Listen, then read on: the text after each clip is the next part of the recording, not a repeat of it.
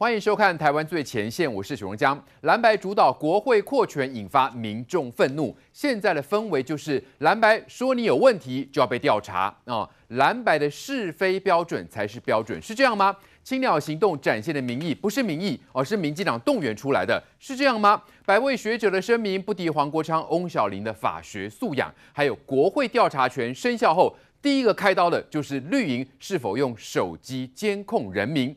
台湾的是非黑白正在倒转吗？那民众现在自发想要罢免蓝委，国民党呢就想办法要提高罢免门槛。那整个的民意氛围会怎么发展？深蓝选区的蓝委，包括徐小新啊、傅昆萁等等，永远都无敌吗？现在谁的仇恨值最高呢？为什么叶元之说建议罢免傅昆萁跟吴宗宪？那当初选上的票数跟现在的仇恨值罢免达标的门槛有什么样的关系呢？不过这届立委就任还未满一年，还不能罢免，那会不会牵连到现在正在联署罢免的基隆市长谢国良呢？成为第一个罢免的苦主。那既然蓝白通过藐视国会罪，徐小金说通过的是垃圾法案，他还在后面睡觉哦。那这是不是藐视国会？阁魁卓荣泰首度的施政报告，蓝委转身退席，这是不是藐视国会呢？还有全台各县市也来推藐视议会罪，行不行呢？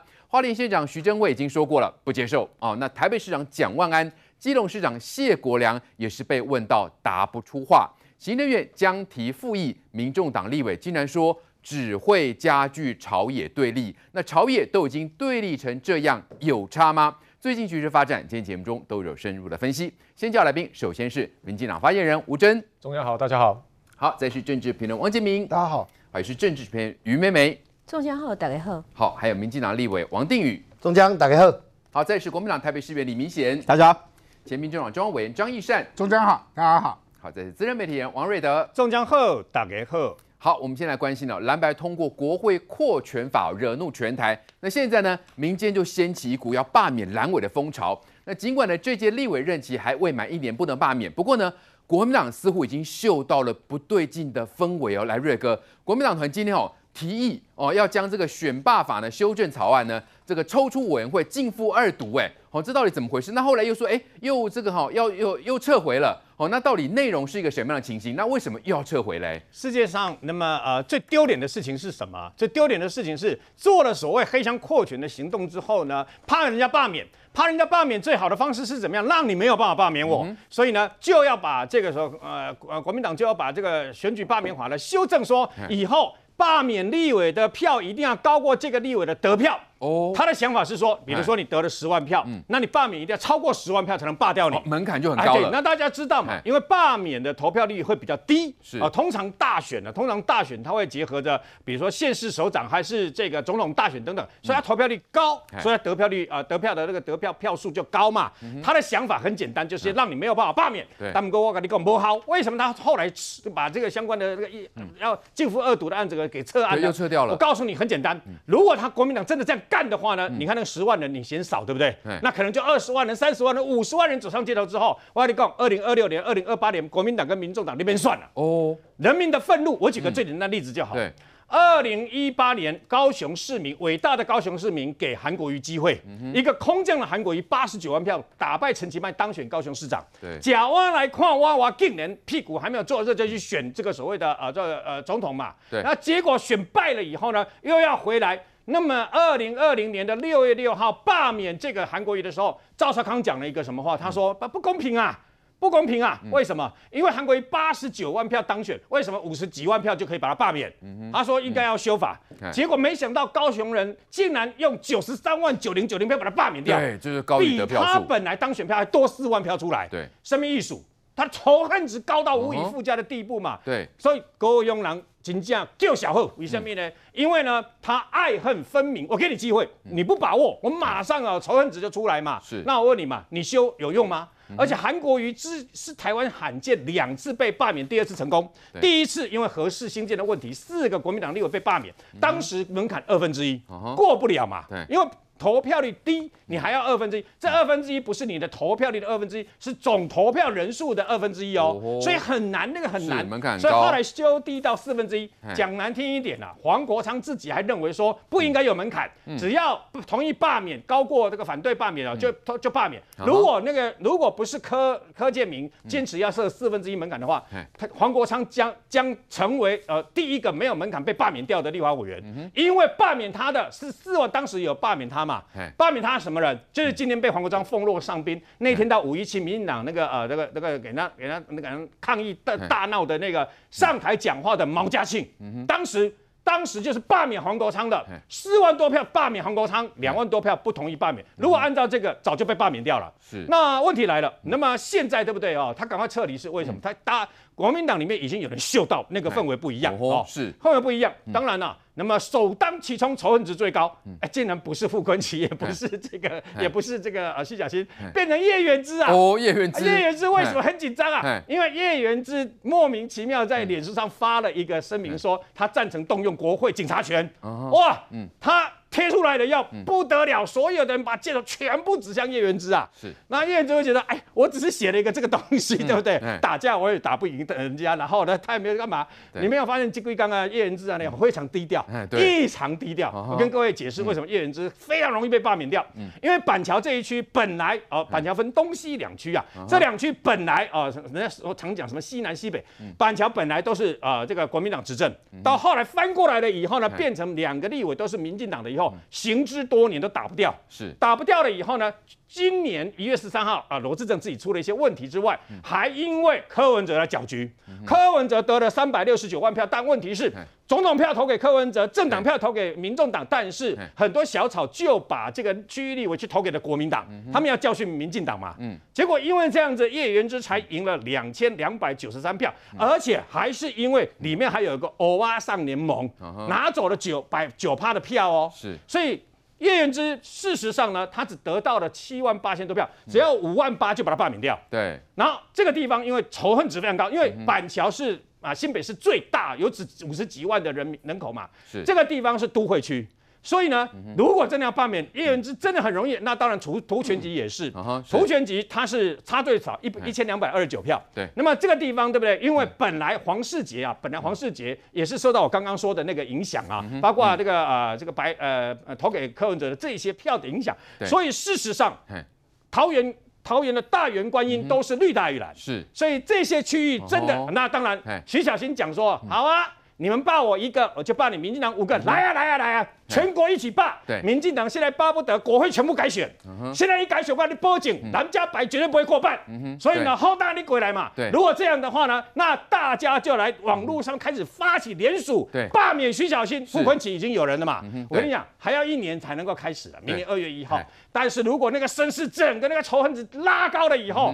我的天呐！你以为你徐小新真的不会被罢掉吗？对，现在蓝白仇恨值是非常高嘛，哈，那只是说国民党似乎嗅到那个氛围喽。那国民党因为过去我们在观察，就说他们在选举的时候是最擅长，比如说这个每次的总统的这个人选哈，最擅长边选边改游戏规则，所以现在呢也要针对这个选罢法来哈，来针对要把它的门槛提高吗？只是说为什么哈进覆二读之后，又这个在消息曝光之后又把它撤回？吴征怎么样观察？这个分几个层面来讲，第一个事情是国民党当然现在有嗅到这个民意的氛围嘛，其实这就包含我们从五月十七号开始讲的，本来。当青鸟行动最一开始，场外开始聚集，哎，聚集到三千人、五千人、八千人的时候，那时候国民党的立委还在立法院里面发出善笑嘛，哈哈哈，怎么可能？我场外清点人数了，哪有八千人？但到后来，包含十万人上街我，就笑不出来了嘛。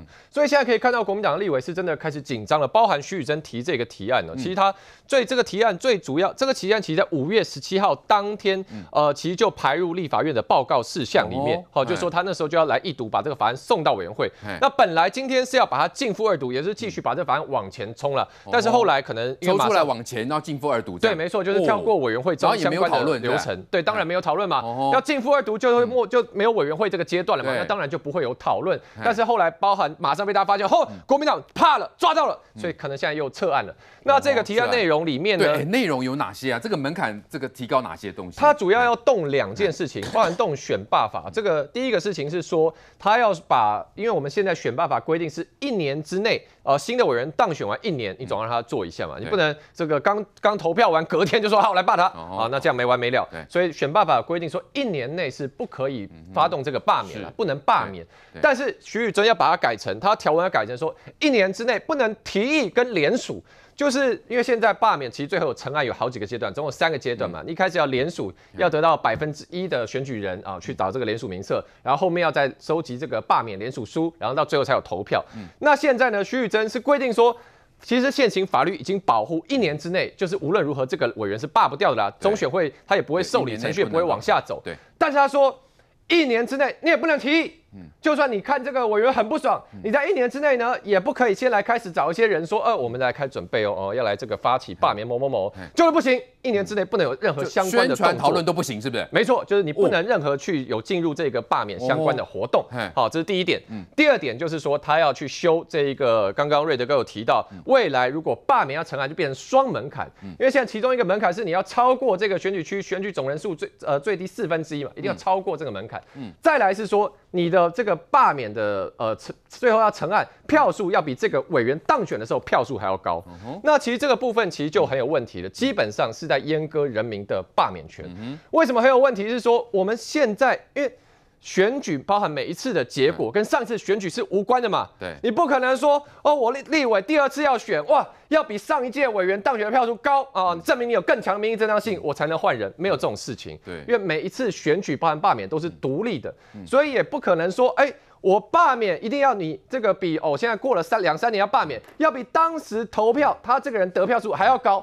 那事实上这是用过去的名义要来制约现在的名义。那这样的一个论述呢，或者说修法是没有任何正当性的。彼此嘛，为什么现在要罢免？就是因为他可能做了让人民非常愤怒的事情嘛。没错，重点是这个现在当下有多少他选区的民众对他感到不满嘛？对，跟上一次投票的时候有什么关系呢？难道我不能上次投票的时候把机会给你，后来过过了一阵，哎，我觉得不行，发现你做的不好吗？做的太烂。啦，所以我现在要罢免你啊！对啊，那按照徐宇珍这一个逻辑的话，难道未来我们立法院修法，你说哦，我现在要改选罢法，那我说不行，委员你要改选罢法修法，你的立法院除非有比上次修选罢法同意的立委更多，你才能修，没有这种事情。而且甚至呢，包含法律学者，我们东吴大学这个法律系的教授张嘉颖，他已经提出了这样的一种修法，过去是有大被大法官直接斥责的，就是宪法四至四九九条。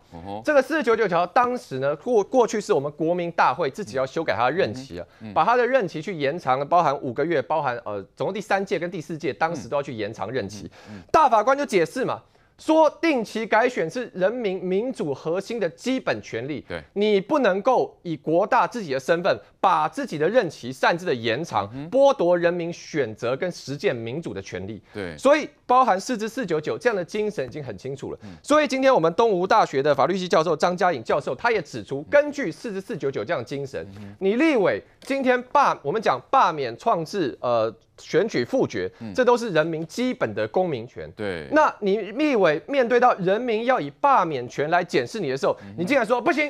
我要把门槛拉高，对，来没收你罢免的权利，来实质保障我的任期。是这样的做法，如果真的修下去，很可能也是会违宪的。是，所以的确，所以我们看到，因为其实呃，大家台湾的民主本来就是越争取越多嘛。那现在看起来是蓝白让台湾的民主越来越少哦，罢免的门槛在过去是越调越低，现在蓝白想要把它调高。怎么可以这样子呢？民众可以接受吗？那只是说，因为现在想要罢免的，包括傅昆奇啦，或者说徐小军，他们都是在蓝营的优势选区嘛。所以易生兄怎么看这个？比如说花莲王，哇，就是傅昆奇嘛。那现在呢？哎，有花莲出身的这个哦反共网红八囧就提出啦，他就说我们不是王的子民啊，哈，我也不是王的男人呐。明年罢免傅昆奇哦，由我们花莲人打响第一枪，哎，那到底在花莲要罢免傅昆奇困难度有多高嘞？哎，先要先怪叶元之，因为叶元之怕到了，为什么傅昆奇、黄国昌造了孽，我叶元之要扛？对，因为叶元之最容易被罢免嘛，所以罢免叶。元之因为只差一千多票，非常容易，而且叶元之叫都会地区，都会地区很容易受媒体影响，仇恨值会加高嘛，所以罢免叶元之可能就是第一选项，所以所有人矛头都。对准叶元之的情况下，叶元之竟然在所谓的节目里面说：“哎，为什么要罢免我？从犯而已啊！要找主要战犯，主要战犯是吴宗宪跟傅昆萁。哎，吴宗宪跟黄国昌一样，不分区立委罢不掉。好，那就剩下傅昆萁嘛。你认为傅昆萁怕不怕？”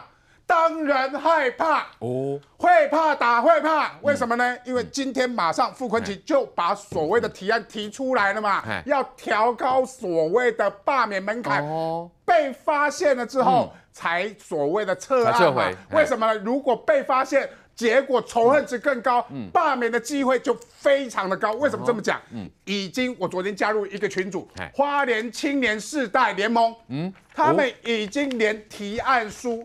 已经开始发动了，这样子哦，哦，好，大家看一下啊，花莲县选举区第十一届立法委员傅昆萁罢免案提议人名册，哦，已经在那里面，你可以直接取件到家乐福也好，seven eleven 也好，列印就可以取件，取件可以寄到这个住址，他们就可以提案一趴的人数，一趴的人数大概呃花莲大概二十六万人嘛，大概只要一趴，只要大概两千多人多份的所谓的提案人，明年一月。只要任满一年，就可以马上立刻进入阶第二阶段的罢免联署阶段。哦，是，哎，这动作很快，已经动作非常快，也表示傅昆萁你逃不掉，你仇恨值最高，因为黄国昌我们没办法罢免，那傅昆萁你一定得接受。选民的考验嘛，傅昆萁当然觉得我啊，我花莲王哎。傅昆萁说，对于人民的决定，他予以尊重。真的有尊重吗？还是背后想要拉高门槛？对不对？对，他就害怕了，拉高这个门槛，拉到门槛变成是说你的同意票要呃同意门槛要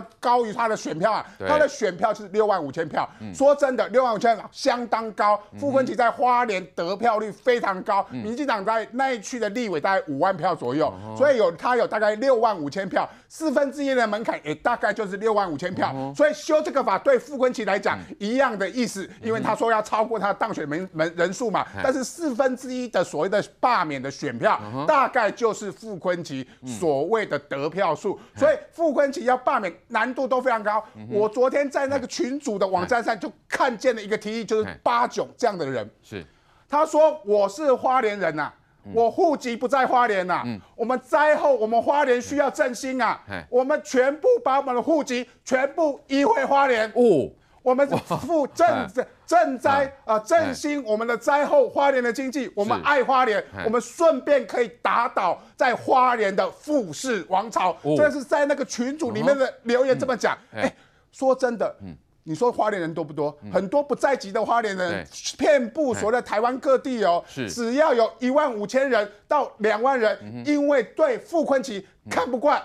这一次他这样子所谓的为了他自己的复仇，他本来是经济犯，他不讲说是经济犯，说民进党用一百刑法一百条白色恐怖对付他，然后去把所谓的国会扩权法案变成他个人报复的法案，这样的仇恨值大家看不下去的情况下，只要一万五千人到两万人哦，移居迁回花莲，花莲人把你的户籍迁回花莲之后，增加一万五千票难不难？其实难度一点都不高，而傅昆萁目前的仇恨值，事实上是有可能达到所谓的四分之一的六万五千票的罢免门槛的，而这个就是傅昆萁。今天会害怕的原因了哦，是我们看到，因为过去都说是花莲王嘛，傅昆萁他在这个当地的这个选票非常的稳哈，这个这个县长当完就当这个立委哈，那夫妻自轮流当，所以呢看起来在在地的实力是非常坚强，但是说这次因为强推这个国会扩权，引发全民的愤怒嘛，所以要请教乌远怎么看这个傅昆萁在当地是不是让这个政治网红八囧来发起，到底能够发挥多大的力量？同时我们要来检视啊，那。这个徐小溪呢，在松信地区呢，也是他的优势选区嘛。那只是在这种氛围之下，是不是能够成功罢免的几率嘞？呃，八囧，我印象他就是花莲人。嗯，那八囧其实他常常做的题目都是跟呃中国啊、台湾啊这些有关系的。有关。一进改东北调，受不了了。对。说我们不是王的男人哈，我们不是他的人。花莲，我觉得将来会是一个重要指标区哈。我们回到罢免这件事情，我的态度就是罢免是人民选你。跟把权力收回来的过程。对，所以我们政治人物、政党，我们不宜去涉入太深，我们尊重公民的活动。嗯，那你要知道，选人很容易啊，我支持许仲江，我投你一票，我投给你的时候，我不会有任何障碍。罢免为什么很难？你知道吗？你要罢免那个人已经是掌权者，嗯，你才能罢免他。对，你要罢免韩国瑜，他是高雄市长，高雄市长会叫警察哈出来取缔你摆摊，会把你的看板拆掉，会叫人来冲，把地板那个冲血的那个印子把你冲掉，因为他已经掌握权力。谢国良是现任市长，嗯，花莲王夫妻两个，一个立委，一个县长，也就是说，要罢免一个人，除了仇恨值要够高以外，你对抗的是既有掌权体制。所以，如果说要找出一个最浪漫、最具革命性的公民的活动，罢免大概是其中一个。他那个对抗的英雄式的那个热情要够。所以咱讲仇恨值其实是罢免为了自己的城市，罢免为了自己故乡。对罢免方来讲，那是一个英雄壮举。对于被罢免来讲，它叫做仇恨值。好了，用这个标准来看，还要找到可行动。